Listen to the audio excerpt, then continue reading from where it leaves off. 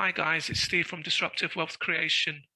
Today we look at the transition from fossil fuel coal to clean renewable energy in wind, solar and battery storage. We look at the challenges facing China and the USA and we look at which stocks might be worth investing in.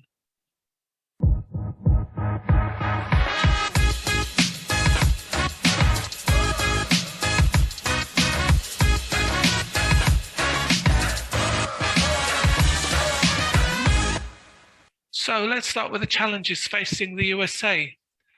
At the moment, the US grid connects to 7,300 power plants.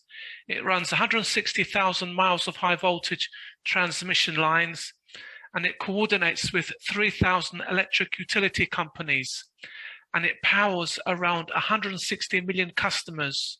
So, what are the problems? Well, problem one is that the grid is outdated because it was made for fossil fuel Problem number two, many of the 3,000 electric utility companies are risk averse to change across the 50 states to running a more efficient system. Problem three is that the country needs to move away from peaker plants. Peaker plants are power plants that are kept running in reserve and ready to come online and meet peak demand as and when they are required. They are very inefficient and very expensive. Problem four is moving to 100% renewable power, which is extremely expensive.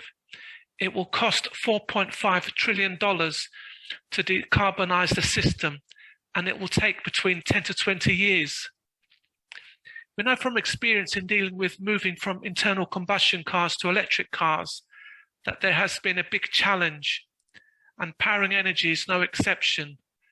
There are many large corporations that fund politicians and they stand to lose billions of dollars if we move over to clean energy, and they're dragging their feet, kicking and screaming.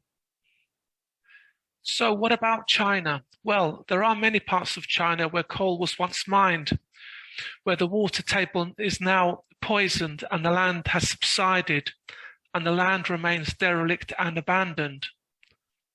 There are large settlements that are still trapped in smog and appear in news reports even today.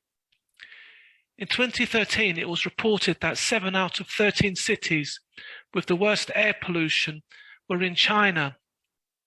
The University of California, Berkeley, estimates that 1.6 million citizens die each year from air pollution at a cost of half a billion dollars to the Chinese economy.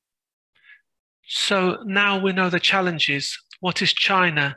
And the United States of America doing? Well, China has committed to tackling climate change, and the, new, the newly elected Biden administration passed a bipartisan infrastructure bill which includes tackling climate change. So something is happening which is positive. I guess if you were going to break down which areas you could invest in renewable energy stocks, you could break it down into the following sectors. The first one you would start with is raw materials like lithium, nickel, and cobalt used for making batteries. Two examples of such companies that supply these materials are Rio Tinto, which produces lithium, iron ore, and copper for batteries, and Talon Metals, a smaller company that just signed a six year contract to provide nickel concentrates to Tesla. If we dig deeper, we can see which companies are making batteries for electric vehicles. They include CATL, LG Electronics, and Panasonic, amongst many other companies. But it's not just batteries for electric cars that you can invest in. Remember, the wind does not blow all the time, and the sun does not shine either all the time. So these large batteries are capable of capturing and storing this excess energy. And then they're able to release it to the national grid or individually provide it to a large city, town, or dwelling. Companies doing this include BYD, Samsung, GE Energy, Tesla, and LG Chem. There are massive projects taking shape with Tesla in California and Australia, for example, supporting the national grid. Apart from the solar panel companies and the wind turbine companies that generate clean energy, you can also invest in companies like General Electric, Cisco, and Intel, which make software for smart devices and save energy.